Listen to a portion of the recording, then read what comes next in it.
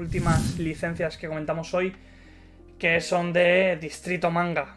Lo que comentamos el otro día, vienen pisando fuerte y, claramente se nota que, hay una apuesta ferviente. Eh, están un poco desordenadas de cómo las anunciaron, pero bueno, vamos a leerlas tal y como las tenemos por aquí. Empezamos por el segundo tomo de Joy, que era más o menos una confirmación más que obvia, eh, de Tsuko, este BL, que, bueno, ya comentaron que tenían la primera parte. Era obvio que iban a tener esa segunda parte, que al fin y al cabo son dos tomitos únicos, es decir, la primera parte y la segunda, un, un BL sobre manga, sobre un autor de manga shoyo. El meta BL. El MetaBL. La verdad es que hay, tiene muy buena pinta, el dibujo es cuquísimo, las portadas son espectaculares. Lo he estado medio leyendo y es, es un Lion Life, o sea, no va a tener nuevo, pero es muy mono. A ver, a ver qué tal le, qué tal le funciona el BL, pero, pero pinta muy bien, ¿no? O sea, ya te digo, es, es como que súper, en plan, hola, yo dibujo, no quiero que sepas que soy gay, pero soy gay, hola. Entonces ahí, esa Joy de, de Tsuko, esta segunda parte. Después, una que ya se sabía, pero que se confirmó, van a volver a reeditar All Boy. Recordemos que anteriormente Penguin Random House ya había lanzado All Boy en un formato orientalizado. Una edición bastante que tuvo, tuvo mucho, mucha queja, con razón. Y, bueno, que la van a volver a reeditar en un formato de tres volúmenes. Así que All Boy, bienvenida sea. Yo cero pegas con, que vuelva la. Yo teniendo, ya la, teniendo ya la peli. Ya, es que la, peli, es, la peli es un bicho, eh.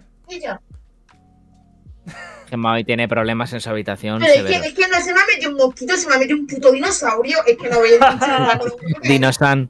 Dinosan. Life o sea, el mosquito, el mosquito le agua que me come. ¡Hijo puta!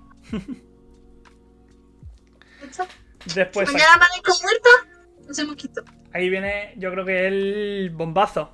El bombazo que hemos comentado antes, que yo creo que nadie esperábamos, que mira que más de una vez hemos comentado, digo, guau, ve, ojalá se licenciara un día, pero no lo veo. Sí que, por ejemplo, José Luis sí que me comentó una vez que estuvo cerca de licenciar Beck en anime y qué pena que no llegara porque me encantaría tener Beck en anime, pero bueno, al menos nos llega el manga, que son 17 volúmenes, eh, ojo, que 17 volúmenes son 17 volúmenes. Eh, ¿Qué os voy a contar? A mí Beck es que me... Beck es muy especial para mí. Entonces, pues claro, pues normal que cuando la anunciaron, pues... Pero lo que pasa es que, claro, que es una contrariedad, que es lo que os he dicho muchas veces, que por mucho que me guste, no sé yo si lo voy a disfrutar tanto leyéndolo el manga. Porque, claro, la banda sonora es tan buena que se me va a hacer raro, mm, no sé, ver ahí a, esta gente y no escuchar las canciones. Pero bueno, igual me tengo que poner la banda sonora de fondo o algo. Es un buen pero bueno, es un buen ejercicio, ¿eh? Sea como, sea como fuere, para mí Beck, mm, yo creo que sin duda alguna, em, eh, no me sale ahora la palabra. Eh, pero bueno, objetivamente, creo que es uno de los mejores mangas musicales que se han hecho. Mm, y más aún centrado, centrado en el rock, ¿no? Porque normalmente los mangas musicales famosos pues están más centrados a lo mejor en la música clásica, ¿no? Como ha podido ser eh, Nada me cantabile o por ejemplo eh, Line April, en fin, hay algunos, ¿no? Pero en el rock, que también hay algunos, pero yo definiría a Beck como esto es el, el la, esto es el rock, esto es, esto es ser músico. Es la, la obra que mejor relata lo que es el, mundo de los grupos, el mundo del rock. Creedme que de esto sí que sé de lo que hablo. Pero eh, desde el punto de vista, eh, como deciros, eh, amateur, ¿no?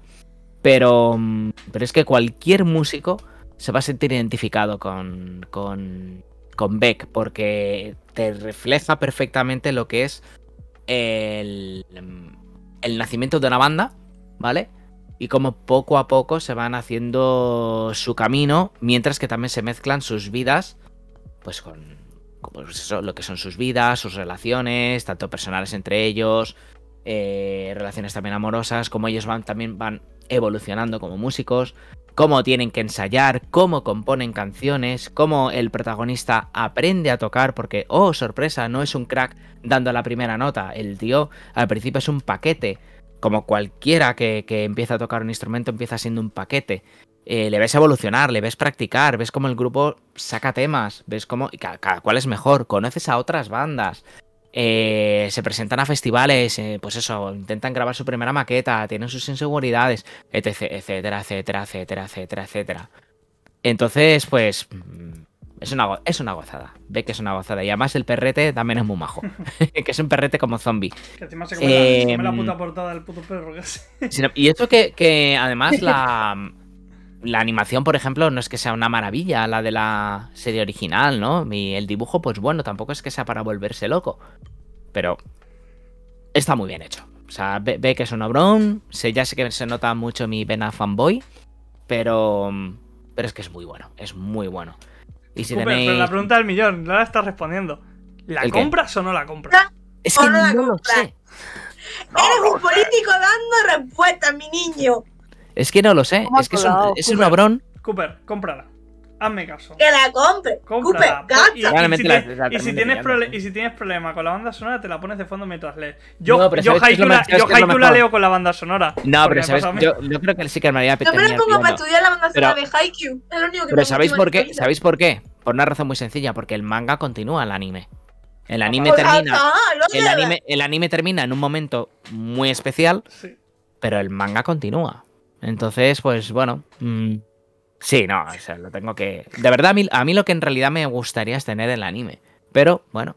Oye, quién sabe, quién sabe. Si no está en inglés, pídatelo en inglés. Ya no cierres, no cierres puertas, Cooper. No, no, pero vamos, que, que, es, que es la hostia. Que si tenéis la oportunidad de leerlo y verlo, es una pasada. Porque es aut- Beck es auténtico. Esa es la, la forma que mejor se me ocurre definirlo. Bueno, ¿tú qué opinas, Alejo? ¿Tú lo has visto en su día? Sí, sí, yo voy a No, ver pero como un hijo de la gran puta. Es decir, no, yo cero dudas, ¿eh? Es decir, yo lo, lo celebré. Hay una captura que hizo Kisa que es literalmente la cara de Serra y yo, que fue celebrando como unos Sí. putos perros. Es decir, esta va a caer más que seguro. Me hubiera gustado estar ahí, joder. Pero aprovecho y suelto un poquito también lo que se comentó. Yo tengo un problema ahora mismo con Distrito. Hasta que yo no tenga un tomo suyo en sus manos, en mis manos, y ver cómo editan, me da miedo decir que. Me, me da miedo ilusionarme a decir, tengo muchas ganas de comprar algo. Porque si después tienen problemas a la hora de editar y no me acaba gustando cómo editan o, o- o tienen algún que otro fallo que, que- que perjudique, pues sí que me puede. Yo creo, yo creo que Distrito. No, bueno. yo, yo- yo creo que también, pero bueno, no me, no me quiero adelantar y hasta que no vea algo en las manos. Por eso me daba cosa y, y sobre todo prefería que hubieran lanzado primero las obras antes de que hubieran anunciado esta nueva tanda de licencias que ha venido muy, muy potente. Uf. Y que, y que la verdad me deja con muchas ganas de comprarme más obras de la editorial, pero es que aún no he visto cómo, cómo puto editan. Entonces, Claro. cuando Yo tengo, editan, yo tengo de fe, decidir. tengo fe. Por cierto, Insua Fidel, Kids on the Slope es otra maravilla. Uf, ya ves. Esa la tenía Milky Way. Eh, sí, La tenía Milky Y además Way. es que y, y además es que encima también el anime, aparte de la pedazo de banda sonora, por supuesto, Está muy bien. es lo este, este sí, este sí, lo bien animado que está. Pero está muy muy muy muy bien, muy bien animado. Sí, el 2 Kids de junio saldremos, saldremos justamente de. Bueno, Comentar que- que, to- que todas las licencias estas que estamos comentando de distritos son para otoño de este año, ¿eh? Es decir, tienen fecha para, para esa estación de- del año. Eh, siguiente licencia, que para mí otra, yo creo que esta sí que va a caer también. Kageki Shoujo, la licencia como tal fue Kageki Shoujo 0, el- la precuela de Kageki Shoujo, eh, una obra sobre teatro que es solo un volumen, pero también comen- comentaron que tienen la licencia de Kageki Shoujo, de, de la obra de Kumiko Saiki, que aún sigue en publicación. Entonces, ahí tenemos esas dos licencias. Comentaros también que tiene eh, adaptación al anime y está disponible en Crunchyroll, si no me equivoco. Eh, entonces, pues, si os interesa la obra, echadle un vistazo al anime que está bastante bien y os puede entrar el gusanillo. ¿Vosotros la teníais fichada esta Kageki Shoujo? Yo me vi el anime porque salió hace no. Hmm. Y está simpático. Sí tengo la ventana abierta, pero el puto bicho no se ha ido. Ya te lo puedo decir yo porque tengo la ventana. Y no, o sea, está simpática, pero no sé. No llegó a llamarme del todo como para comprarla. Yo aunque sea el... ¿Cómo se dice? El, el, el- el cero, que es como spin-off precuela, sí que, sí que caerá. Después ya veremos la serie porque sigue en publicación la, la larga y, y lleva 12 volúmenes. Así que habrá que ir viendo cómo avanza y si me acaba de llamar tanto la atención para verla. En tu caso, Ann Cooper, ¿cómo? ¿Esta la tenéis No. fichada? No, No, la conocía por el anime, pero mm, no me, no me seduce. me mola mucho la portada del, del- de la precuela esa, pero. Mm, Ya es que el portadón. Además, si no me equivoco, creo que justamente en la parte de cero no se anima en el anime. Entonces, también es una parte de a pillar completamente de, de nuevas. Después, una que sí que yo la tenía poco fichada, pero parece que, que se celebró eh, mucho por redes. La bestia del rey. eh, de, de Rey Toma. ¿La teníais ahí fichada? ¿Qué os parece? Bueno, la Pues, portada es muy verdad. bonita. Y, eh, y, bueno, puede estar interesante, lo que pasa es que, claro, nueve, nueve tomacos. Y abierta. Es que, ¿Cómo se nota que hay viruta detrás, eh? Madre mía, el pingüino. vamos a el ver, pingüino eso, tiene eso es lo que estábamos No. hablando cuando hemos llegado. mm, Estábamos hablando eh, Alejo y yo, diciendo, vamos a ver. A mí que, que una distribuidora llegue y me suelte 897 licencias y no me enseñe nada. Que me la haga Planeta, más o menos me la conozco. Y digo, vale, sé por dónde va. Este tipo de editoriales, enséñame. Yo sé que tienes dinero, pero no me la demuestres. No sé. Yo me, la, Mm. yo me las hubiera guardado. Es decir, yo por ejemplo esta tanda, que yo sé que en realidad es que es muy... Es muy tentador anunciar licencias muy fuertes como un Beck en un salón del cómic. Y hay una repercusión detrás que se gana eh, en mucho. Pero, pero no sé, no, no- yo me hubiera guardado estas para junio, para julio y anunciarlas claro. una vez ya estén las, aunque sea la primera tanda de novedades en el mercado y que la gente ya haya visto cómo editas. Entonces, posiblemente a la gente sí que le gusta más eh, todo lo que, lo que anuncias. Y todas las licencias son de Kodansha. Mentira, porque La Bestia del Rey es de Shogakukan. Y la de. mm, Y la de. Justamente la de Kageki Shoujo es de Hakue- Hakusensha. No sé si son parte de Shogakukan. Ay, de Kodansha, perdona, pero, pero me suena que no. Que son editoriales completamente diferentes. Y lo que comentaba Javier Cámara, si no me equivoco. eh, justamente de La Bestia del Rey. Un shojo de fantasía. Que, se, que parece que sí que se estaba pidiendo mucho de, de ese estilo llama. De, de obras y, y comentaba que para él es un imprescindible. Así que habrá que echarle un ojo a esta bestia del rey que mínimo por la portada te entra. Después, eh, otra de las Sorpresón. fuertes, yo creo. Yo creo que ha sido una sorpresa, pero yo creo que está bien apoyada, ¿no? Porque es Noshi Arakawa, ¿no? Que es la autora de Your Line April, ya una obra muy, muy famosa, que también tenemos aquí tanto el anime como el manga. Y yo creo que hay una cosa que tiene, una cosa muy buena y muy mala que tiene My Dear Kramer. Eh, muy buena, que es un Spokon de solo 7 tomos, lo cual me parece bastante manejable. Que por cierto, también tenéis el anime en Crunchy y la película precuela. Y bastante De las pocas pelis que, de las pocas pelis que tiene Crunchy, además, en, en catálogo. Eh, lo malo, eh, no he leído el manga, pero sí eh, vi el anime. De hecho, lo tenéis comentado en, en la sección de Anime Novels por varios de nosotros. ¿Y qué es lo que pasa? A ver, eh, eh, Sayonara Kramer, eh, a ver, es- está guay, o sea, mola. Lo que pasa es que para mí, y no sé cómo se resolverá en el manga, pero el anime tiene un problema, en mi opinión, muy grande. Y que conste que yo no soy nada futbolero. Pero me gustan los Spokons de fútbol. De hecho, ahora estoy viendo el de este de temporada de Aoshi, Ao- Aoshi o algo así se llama. Bueno, el caso. Sayonara Kramer. El ritmo de los partidos es muy malo. Muy Es culpa malo. del anime, yo te lo adelanto. Cul- Eso es- espero que sea así, Ya te lo porque adelanto. se van constantemente a, a flashbacks y te rompe completamente lo que. O sea, no es como un partido de Haikyuu que es a machete, sino que, mm, Es que que, aquí el, es que el ma- se va mucho por las ramas. es que a nivel de, de cómo tratan los flashbacks sí que es más Haikyuu en Hmm. el manga. En el sentido, en Haikyuu pasa un montón, lo de en un momento decisivo hay momento de flashback. Siempre, siempre pasa en Haikyuu. Es típico. Pero, de- Mm. pero aquí. Pero, el- pero, eh, pero eso es problema del anime. Es que el anime está muy mal dirigido. Claro, el- es que el, en, el, en el anime, o sea, Haikyuu nunca te rompe la intensidad de los partidos, lo sabéis de sobra, que eh, Haikyuu es la hostia. Pero en Kramer, es lo que dices tú, Alejo, que en, el, el- en lo que es el partido te rompe mucho la tensión y el ritmo de, de lo que es el partido, mucho. Pero esperemos que en el manga. A ver, bien es verdad que en, en Sayonara Kramer hay otra cosa muy buena, que se haya hecho un manga centrado en el fútbol femenino. Lo cual, chapó. Aunque ya vimos también equipos de fútbol femenino, por ejemplo, en Area no Kishi, lo cual era también muy interesante, que teníamos hasta a la. Teníamos hasta las. En Keijo. ¿Eh? Pensé que ibas a decir en Keijo. No, coño, no, coño. Que salía también, por ejemplo, en Area no Kishi, eh, salía la, la selección, las Nadeshiko, ¿no? La selección femenina de, eh, japonesa. Mm. Y está muy guay, también está muy guay que sea fútbol centrado en eh, centrado en chicas.